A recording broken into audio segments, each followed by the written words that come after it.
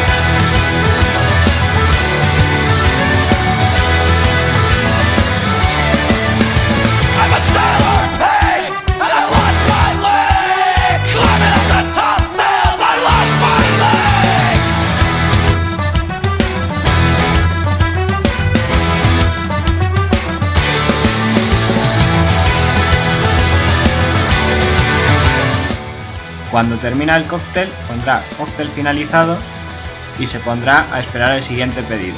Y pondrá en la LCD esperando pedido.